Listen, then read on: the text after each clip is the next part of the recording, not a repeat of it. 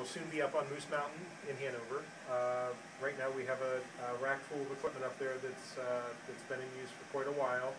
Um, it sort of grew over the years and, uh, and, uh, some of it's outdated, some of it, uh, requires a lot of maintenance. It's hard to maintain because it's, everything's really packed in up there. So we, we've got a little bit taller rack, um, and we've gotten a rack that makes it, uh, gives us the ability to, uh, pack more equipment in, in the one space. This is our smallest, uh, transmitter site footprint. So this is one rack of equipment for a whole radio transmitter site with a backup transmitter and the whole thing.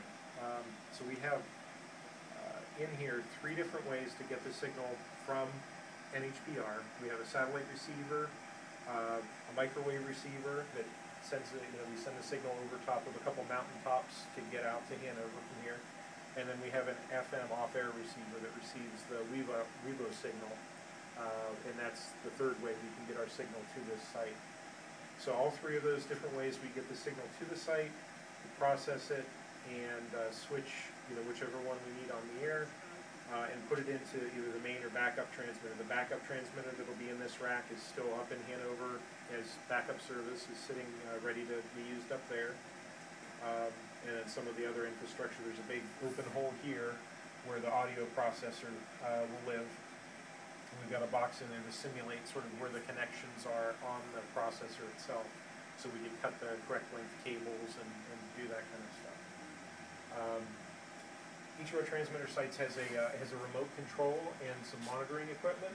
Um, so there's a, uh, a broadcast uh, specific remote control that keeps track of all the operating parameters of the transmitters and all the different, you know, the signal levels on the different pieces of gear. Uh, allows us to, uh, make commands at the site, basically button pushes without being there. We can, we can connect to it over the, uh, internet or by phone line. And, uh, put the backup transmitter on the air, switch to a backup studio transmitter link, reset a fault, those kind of things. It also feeds us information if there's a power outage, uh, the status and health of the generator and, uh, and various things, the temperatures, you know, so we can monitor and see if anything's getting too hot or anything like that, so. Um, but it's, uh, it's built as a very compact, um, package to, to go in the space that's allotted to us. Normally, if we build out something like this, it would at least be two racks worth of equipment. And some of our installations now are three because of just the, the, uh, the need to have a little bit more space for the transmitters, the higher power transmitters, and, uh, room for a little bit more future expansion and makes it a little more workable. If you, in a second, we'll look around the back here and you'll see that there's uh, pieces of equipment staggered sort of in the middle of the rack, facing sort of forward but halfway back, and some things are facing backwards.